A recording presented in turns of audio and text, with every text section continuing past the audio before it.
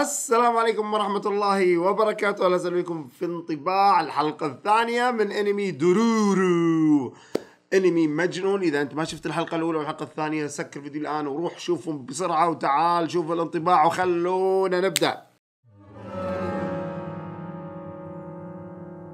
قبل لا نبدأ الانطباع بس محتاجين فزعه منكم يا ال nakama والأخوي. أنتم روعة ودائما داعميننا عارف ذا الشيء. في تصويت سواه الاتحاد السعودي للرياضات الإلكترونية. أفضل event رياضي حق ال gaming من ال gaming صار في السعودية في هذه السنة سنة 2018 وأيضا على أفضل لعبة وعلى أفضل قناة وما إلى ذلك قناة gaming مش قناة أنمي. فاحنا مش داخلين في التصويت كاي شو بس حفل Game Nation اللي إحنا شاركنا فيه داخل في هذا التصويت فمحتاجين دعمكم أيها الأوتاكو. في التصويت على هذا ال event. ادخل على الرابط مربع الوسط تحت تلقونه وصوت ل Game Nation إذا أنت حضرت الفعالية وشفت إنها فعلا جميلة قوية صوت لها. وعاد القنوات والألعاب هذه متروكة لك أنت اللي حضرتها مو معنا وتقدر تصوت بس حق Game Nation وتطلع وإذا تبي تصوت البقية صوت براحتك يعني. أهم شيء Game Nation أنتم nakama وهم بالنسبة لنا شركاء وحلفاء ونتمنى لهم التوفيق في هذا التصويت فادعمونا بالتصويت لهم يعطيكم العافية. طبعا أول شيء خلونا نبدأ بتصحيح معلومة مهمة جدا، كلنا كنا نظن إن المانجا قديمة وإن أنمي جديد وصدمنا إن لا هذا الأنمي remake إعادة إنتاج لهذا الأنمي من جديد بصورة وحلة رائعة جدا لأن الأنمي القديم من هذا الأنمي درورو إنتج سنة 1969 أسود وأبيض وهو من روائع المبدع. واللي يسمى الأب الروحي للمانجا اسوما تونوزاكي. ناسي الاسم بالضبط ولكنه يسمونه ال Godfather أو العراب اللي سوى الليث الأبيض وسوى Astro Boy كوكي العجيب. أعمال مجنونة جدا لهذا الكاتب. هذا أحد أعماله القديمة جدا ولكن كان مسويه أسود وأبيض. حتى الرسم تشوف لو شفته تقول هذا كوكي العجيب هذا ليث الأبيض. كذا الرسم والله العظيم تعبان تعبان جدا. بس يستاهل انمي القصة تستاهل انمي والانمي هذا يستاهل remake وهذا دليل على أن الانميات القديمة قاعدة ترجع ب remake وأسطورة وحلة بهية جميلة جدا جدا. وإذا كانت القصة دي استحقت انمي في ذلك الزمن فهي تستحق اعاده إنتاج الانمي هذا راح يكون رهيب بإذن الله هذا الموسم. أنا متفائل فيه صراحة حتى الآن الحلقة الثانية شيء شيء شيء أسطوري. إخراج الأكشن الرسم القصة كل شيء فيه مثير وخطير جدا جدا جدا. طيب الحين خلونا نبدأ الانطباع بداية الحلقة جابوا لنا الشايب اللي كان يمشي بالجيتار حقه وكان الجيتار حقه فيه نصل. وقابل وحش جديد هالمرة ضخم جدا وراسه كبير. ولكن ما قتله ويوم كان يشوفه طبعا الشايب هذا عمي فهو يشوف بالحس حقه يستشعر بالطاقة الروحية اللي قدامه.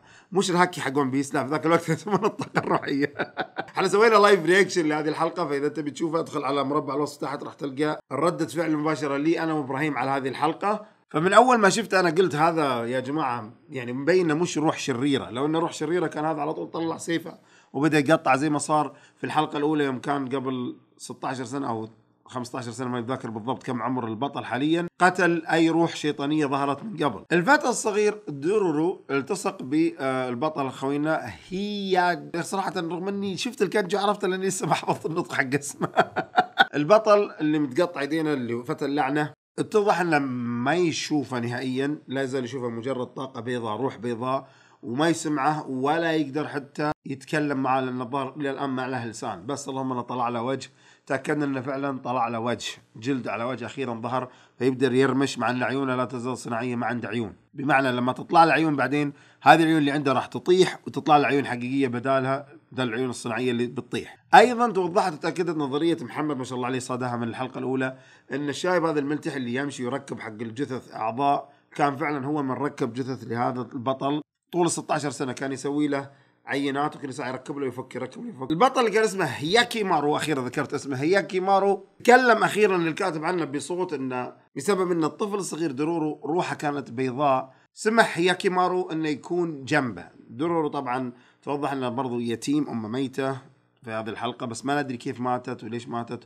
وبرضو شكل الدم اللي ظهرت المرة اللي ظهرت مقارب لشكل أمه. بس كيف ماتت أمه؟ وكيف صار يتيم؟ وين انحاش؟ ما ندري.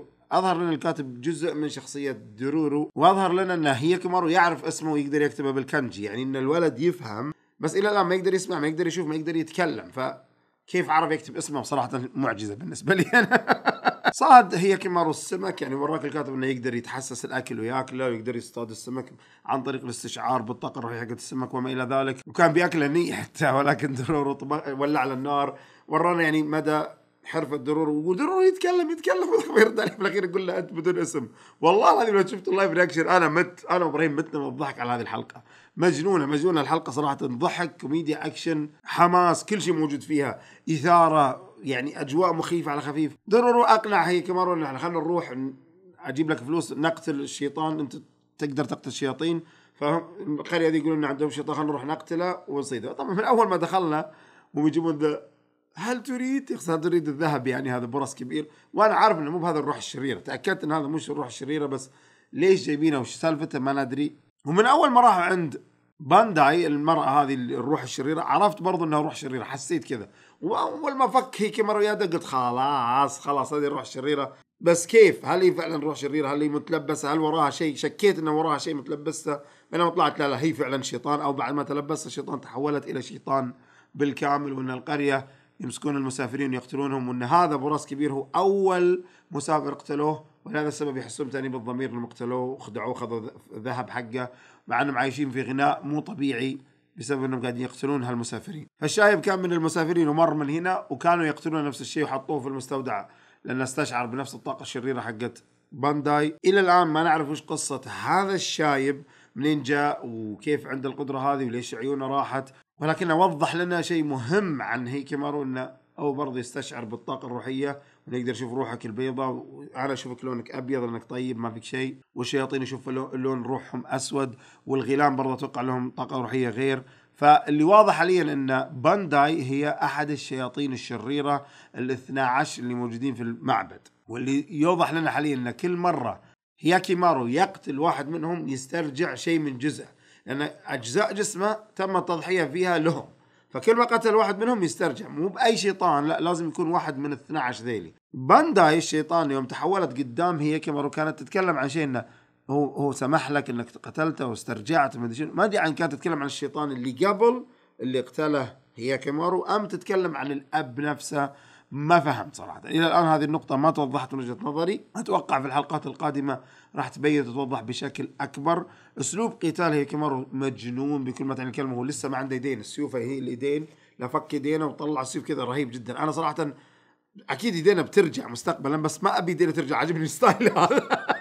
يعني متأكد انه لما ترجع يدينا بيصير أقوى وأقوى لما يبدأ يستخدم السيف. يعني هو ما شال السيف في خصره حط السيف إلا إنه تدرب عليه أو إنه يقدر يستخدمه يعرف يستخدمه. فلما يوصل إنه ترجع له إيدينا راح يستخدم السيف بأسلوب أقوى من إنه تكون إيدينا هي السيف. بيكون المدى حقه أبعد. حركاته مرة مرة سريعة حاليا. قتاله مع الشيطان بانداي كان رهيب واسطوري أفضل حتى من قتاله مع ذاك وحش البحر أو وحش النهر اللي هو غرقه بالجسر. ذاك بس غرقه وبس هنا لا نتف بانداي قتل الوحش نفسه ويوم رجعت بانداي طلعت في جسم المرأة. نتفها مرة ثانية. والله العظيم تقطيع واسلوب قتالي ودموية رهيبة جدا جدا جدا في الأنمي. أحد الأشياء الجميلة برضو بداية العلاقة بين دورورو وهياكيمارو كانت جميلة ووجود الوسيط اللي الشاب اللي إلى الآن ما عرفنا أيضا اسمه جميلة جدا وتحس إنه بدأ يصير معاهم في الرحلة يعني إلى وين بيروحون؟ هل بتزداد عدد الفرقة أكثر؟ متى الكاتب يكشف لنا ماضي درورو؟ متى بيكشف لنا أكثر عن هيكيمارو؟ هل يعرف منه أبوه ولا لا؟ هل يعرف منه أمه ولا لا؟ هل إذا قابلهم إيش بيصير؟ متى بيسترجع ذا ذا ذا. طبعا في نهاية الحلقة جابوا لنا إن أحد الشياطين انقص اللي داخل المعبد ذاك. التمثال حقه انقص وبعدها على طول بدأ التأثير على هيكيمارو انه زي الأعصاب بدأت تنبني داخل جسمه. فهل رجع له النظام العصبي في جسمه أم إن الأعصاب دي بتوصل لين عند عيونه بتتفاعل عيونه أو سمعه؟ أحس إنه يحتاج أحد الحواس صراحة. على الأقل يا أما اللسان يا أما السمع يا أما العيون لازم يشوف لازم يسمع على أساس انه تتطور القصة أكثر ويبدأ يفهم أكثر ويبدأ يتكلم أكثر. بيكون شيء جميل جدا. بس تعمد الكاتب إنه هي على تعليقة حلوة على أساس تتحمس للحلقه الجاية. إنه ما تدري شو اللي بيرجع. تقعد تتساءل حالة الحلقة. شو اللي بيرجع له؟ شو اللي بيرجع؟ طبعا أحلى شيء بالنسبة لي وضح الكاتب إن أهل القرى كانوا ندمين على قتل ذلك الشيطان وكانوا أساسا يبون هي كمارو درر يقتلون الشيطان هذا اللي هل تريد؟ هل تريد صوت الجرس حقه اللي يطلع مخ... مأنب ضميرهم مخلي أذانهم وعقولهم تستجن؟ نحن قتلنا انسان بريء ما لا ذنب وسرقنا الذهب حقه. رغم إنهم راضين بالعيشة الحلوة والمتعة والفلوس وذا بس برضو تأنيب الضمير موجود. فكانت لمسة حلوة وأتوقع إنه في كل مرة بيقتل فيها هياكيمارو الشيطان بيوريك مدى تأثير الشيطان ده على القرية أو المدينة اللي هم فيها. ممكن يمشي بذا السيناريو ممكن ياخذ سيناريو مختلف. صراحة إلى الآن ما بقدر أقرأ أنت متخيل القصة دي قديمة. يعني نمطها قديم وغريب جدا. لا تعتقد انها مثل نمط الأنميات الجديدة اللي متعودين عليه. بيكون شيء مختلف صراحة. أنا متحمس لها متحمس لها ومتأكد إن ال godfather العراب حق المانجا أوسامو تيزوكا ما, ما اختار هذه القصة إنه يسويها إلى أنمي أسود أبيض إلا إنه كان فيها شيء مميز جدا جدا جدا. ننتظر نشوف ال remake كيف راح يظهر لنا روعة هذا العمل وإبداعه وقصته. أتمنى إني ما أحبط في نهايته صراحة خايف أنا. واللي يعرف النهاية please please لا تجي تحرق لا في ال comment ولا في البث ولا في أي مكان.